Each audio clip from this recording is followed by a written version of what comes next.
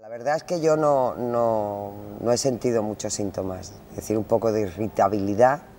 pero bueno, yo también tengo un carácter muy fuerte y eh, siempre he sido una mujer de mucho carácter, por lo tanto tampoco le daba mucha importancia.